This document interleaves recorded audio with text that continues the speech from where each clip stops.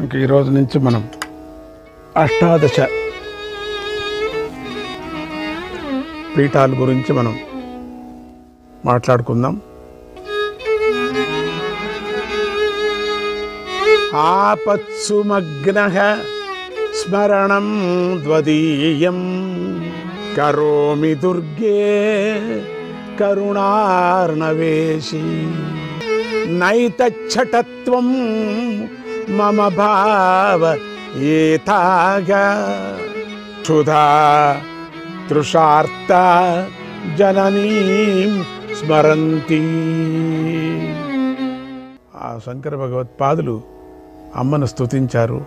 అమ్మ ఆపదలలో నిండా మునిగిపోయిన వారు నిన్ను స్మరించాలి. దేవతా పురుషుల్ని నిందించకూడదు. అనుమానపడకూడదు. నిన్నే స్మరణ చేయాల. నిజంగా ఆ అమ్మ ఖండితంగా దాటిస్తుంది. నీ స్మరణ చెయ్యాలి.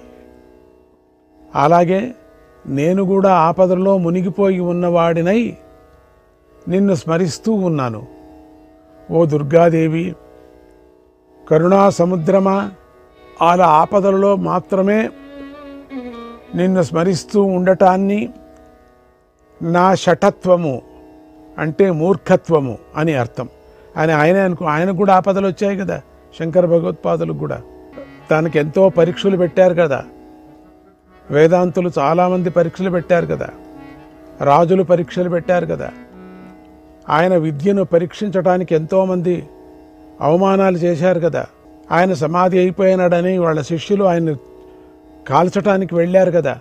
ఇంత కష్టాలు పడ్డారు ఆయన. శంకర భగవత్పాదులు. అందుకని ఆ సమయంలో ఈ ప్రార్థన చేశారేమో.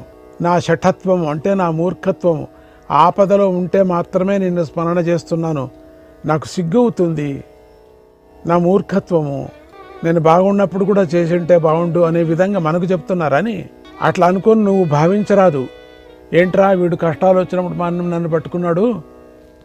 మిగతా తప్పుడు లేదే? అని నన్ను నువ్వు తీసి పారేయొద్దు తల్లి. ఎందుకంటే ఆకలితో ఉన్నవాళ్ళే అమ్మను స్మరిస్తారు కదమ్మా. ఆకలితో ఉన్నాం కదమ్మా అందుకని నేను స్మరిస్తున్నాం.